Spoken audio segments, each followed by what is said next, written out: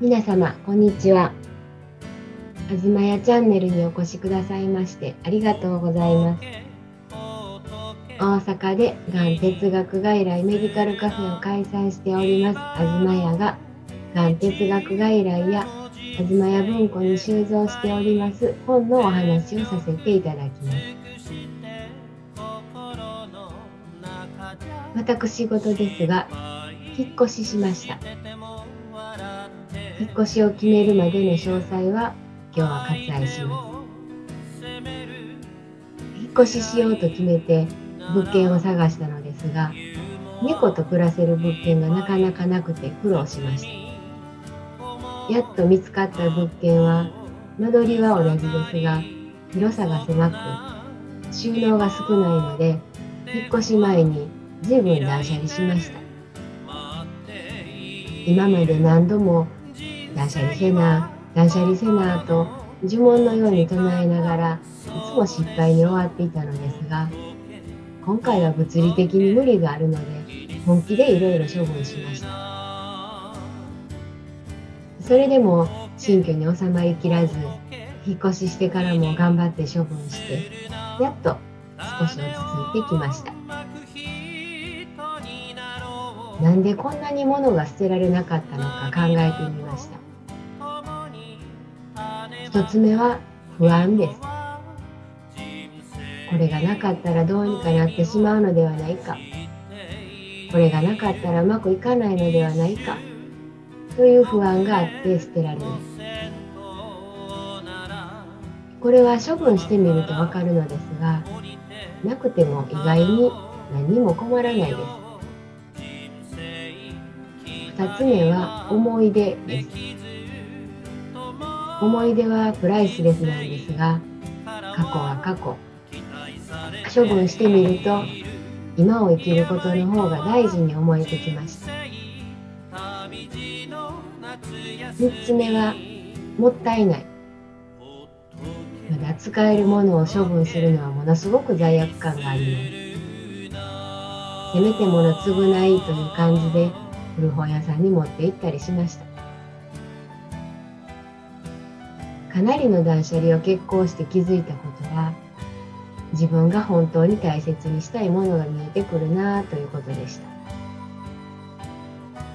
私の場合衣類や食器は処分できても本は処分できません。一度読んだらもういいかなという本もあるのですが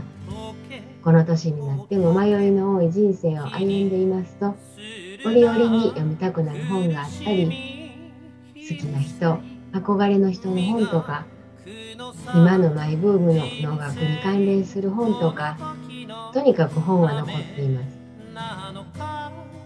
今の自分の部屋は南向きなので本棚には火が当たって瞬く間に本が日焼けしてしまいますがこれしか収納方法が思いつかなかったので多くの本が見える収納になっています。これはこれで背拍子で読書できる私にとってはちょっと嬉しいことです。しすぐに本に手が届くので毎晩寝る前に少しだけ読書してから寝るようになりました。さて今日ご紹介する本の一冊目は大切なこと。マーガレット・ワイズ・ブラウン作。内田彩子さん。訳役者はがんで亡くなったキキキリンさんと内田裕也さんの娘さんの内田彩子さん。物事にはいろんな特徴があるけれど自分が自分であることが大切なこと。というお話です。私は今回の断捨離で自分が自分であるために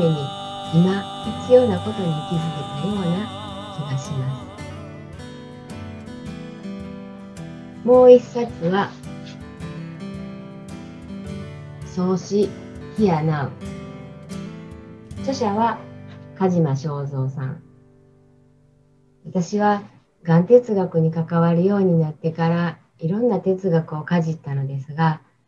中国哲学の老荘思想が好きです。この創始の中に「タオ」「道」と書いて「タオ」と読みますがタオの自然は流れ動こうとするものでそのためには空いているスペースが必要だと書いてありますいろいろ詰め込んでいると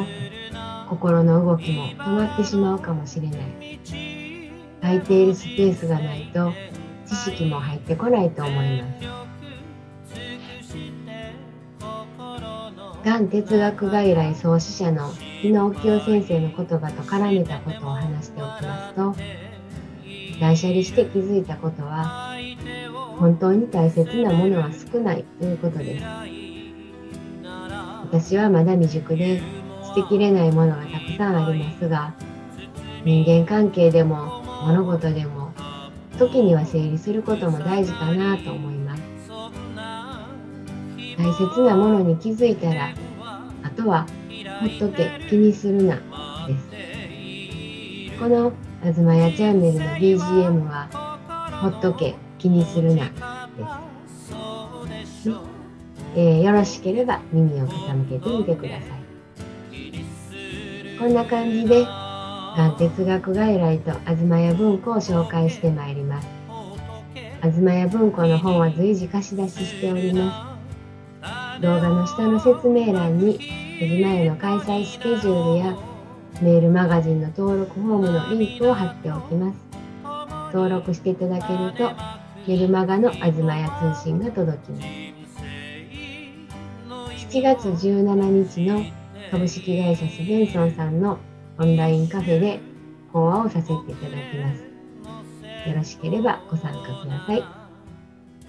では次回の公開までごきげんよう。あずまやでした。